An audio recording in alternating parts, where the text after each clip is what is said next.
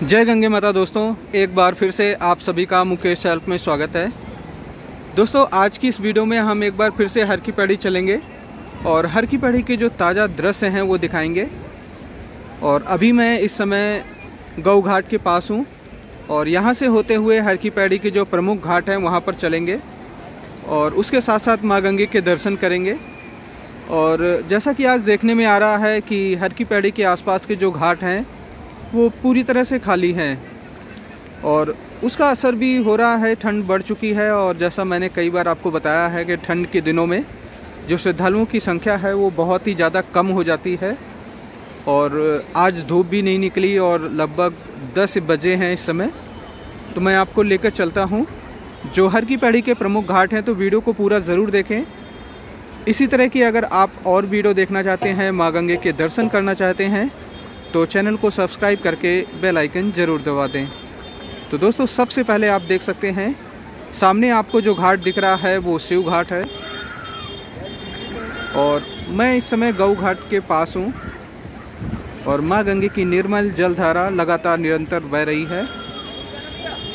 तो अब चलते हैं जो प्रमुख घाट हैं और मैं आपको जल के बिल्कुल पास में ले चलूँगा और माँ गंगे के दर्शन बिल्कुल सही से कराऊँगा, आपको अच्छा लगेगा।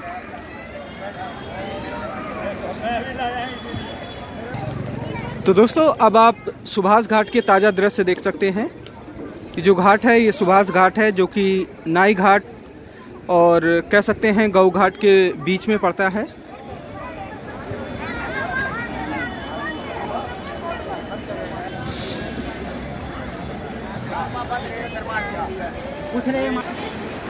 तो दोस्तों, इस समय आप यहाँ पर माँ गंगे के दर्शन कर सकते हैं।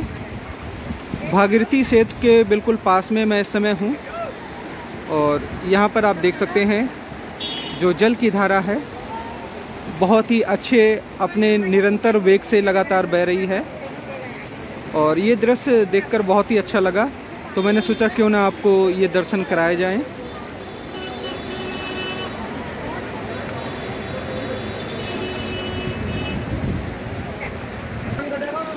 दोस्तों, मैं आपको बताना चाहूँगा, एक बार फिर से कोरोना की गाइडलाइंस जो हैं, वो चेंज हो चुकी हैं। हरिद्वार आने के लिए एक सख्त नियम हो गए हैं और चेकिंग बहुत ज़्यादा बढ़ चुकी है। जहाँ पहले 16 जगह चेकिंग होती थी, अब लगभग 36 सैंतीस जगह हरिद्वार के बॉर्डर में रेलवे स्टेशन में बस स्टैंड में, सभी जगह कोरोना की जो टेस्टिंग है, वो बढ़ा दी गई है। और सभी, आप सभी जानते हैं कि ओमिक्रॉन जो संक्रमण है, वो और भी ज़्यादा ख़तरनाक है। इसकी जो फैलने की जो क्षमता कह सकते हैं, वो बहुत ही तेज़ है और इसी वजह से पूरा जो वर्ल्ड है, एक तरह से पूरी तरह से एक्टिव हो चुका है। भारत सरकार भी पूरी तरह से एक्टिव हुई है और उसके बाद प्रदेश सरकार भी कोरोना के जो नियमों हैं, उनमें बदलाव किया है।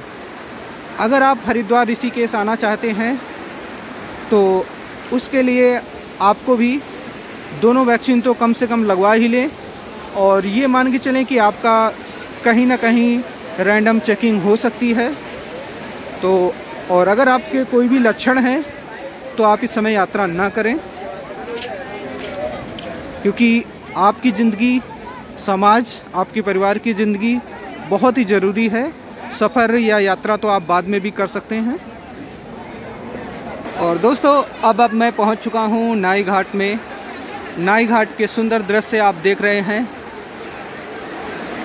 कल भी हरिद्वार में धूप नहीं निकली थी और आज भी ऐसा है, लगभग दस बजकर पंद्रह मिनट हो रहे हैं और अभी तक जो सूर्य भगवान हैं, उनके दर्शन नहीं हुए हैं और ठंड काफ़ी ज़्यादा है। और ऐसे में श्रद्धालु गंगा जल में स्नान कर रहे हैं। और इस समय ऐसे भी जो गंगा जल है, बहुत ही ज़्यादा ठंडा होता है, क्योंकि दिसंबर का महीना हो या जनवरी का, गंगा जल बहुत ही ज़्यादा ठंडा मिलता है।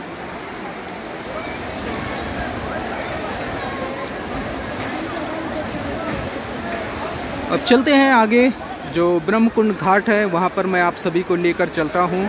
माँ गंगे के दर्शन कराएँगे और उसके साथ साथ वहाँ पर देखेंगे कि श्रद्धालुओं की संख्या कितनी है। दोस्तों, यहाँ पर आप देख सकते हैं गंगा जल का जो फ्लो है, बहुत ही तेज़ है। और कितना अच्छा लग रहा है यहाँ पर जो जल का फ्लो देखकर। और अब मैं आपको मनसा देवी मंदिर के दर्शन कराऊँगा। ऊँचे पहाड़ों में माँ मनसा देवी का भव्य मंदिर है। तो कमेंट में जय मनसा माता ज़रूर लिखें। ये है हरिद्वार का, कह सकते हैं, सबसे प्रसिद्ध मंदिर, मनसा देवी मंदिर।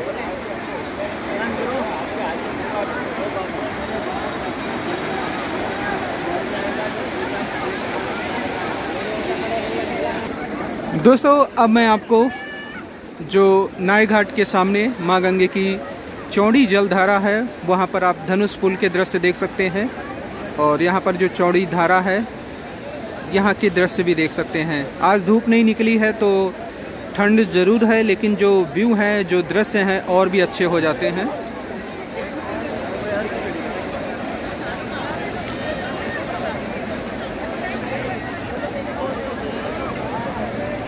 दोस्तों, अब मैं ब्रह्मकुंड घाट के बिल्कुल सामने हूँ, और आप जो दृश्य देख रहे हैं, ये ब्रह्मकुंड घाट के सुंदर दृश्य हैं। और आप देख सकते हैं ब्रह्मकुंड घाट में भी जो श्रद्धालुओं की संख्या है, बहुत ही कम है। और सामने जहाँ पर बहुत सारे श्रद्धालु स्नान करते हैं, वहाँ पर भी आप देख सकते हैं। कुछ ही लोग आपको दिख रहे होंगे। और अब मैं आपको घंटाघर घाट के दृश्य दिखाना चाहूँगा। घंटाघर घाट में भी काफ़ी ज़्यादा श्रद्धालु स्नान करते हैं। लेकिन आज कह सकते हैं कि घंटाघर घाट एक तरह से खाली है, कुछ ही लोग हैं। और यहाँ पर आप देख सकते हैं, घंटाघर घाट में घड़ी लगी हुई है और जो टाइम है वो लगभग दस बजकर बीस मिनट होने वाले हैं। तो सुबह सुबह माँ गंगे के दिव्य दर्शन आप कर रहे हैं और सेकंड दिसंबर की ये वीडियो है।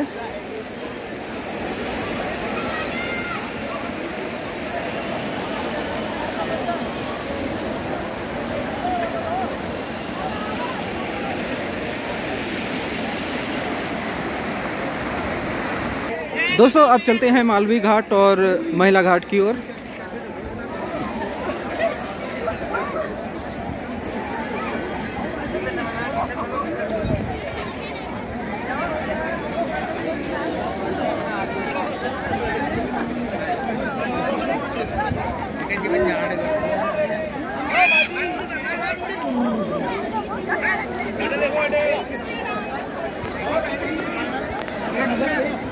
दोस्तों, ये है मालवी घाट। मालवी घाट में भी आपको बहुत ही कम श्रद्धालु दिख रहे होंगे। घाट एक तरह से कह सकते हैं खाली है।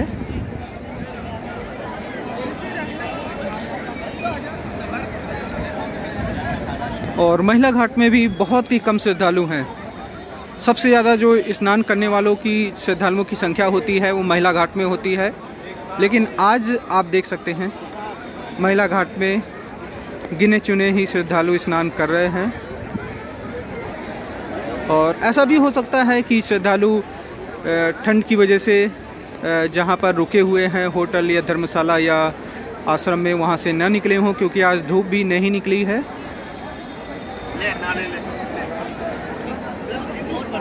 और अब चलते हैं माँ गंगे के बिल्कुल जल के समीप, और वहाँ पर मैं आपको हाथों में गंगा जल लेकर दर्शन कराता हूँ, आपको पूरी तरह से ऐसा महसूस होगा कि मानो आप यहाँ पर खुद यहाँ पर मौजूद हों और माँ गंगे के दर्शन कर रहे हों। तो दोस्तों, अब मैं बिल्कुल गंगा जल के समीप पहुँच चुका हूँ और आप सभी यहाँ पर माँ गंगे के जल के दर्शन कर सकते हैं। आप देख सकते हैं मेरे हाथों में जल है। और पूरी तरह से जल जो है क्लियर है। ट्रांसपेरेंट इस समय जल आपको दिख रहा होगा।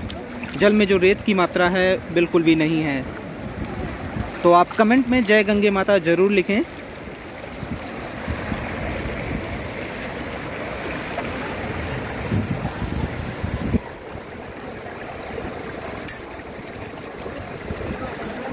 तो दोस्तों, उम्मीद करते हैं आज की ये वीडियो आपको अच्छी लगी होगी। माँ गंगे के आपने दर्शन सही से कर लिए होंगे और हर की पैड़ी के जो वर्तमान दृश्य हैं, वो भी आपने सही से देखे होंगे।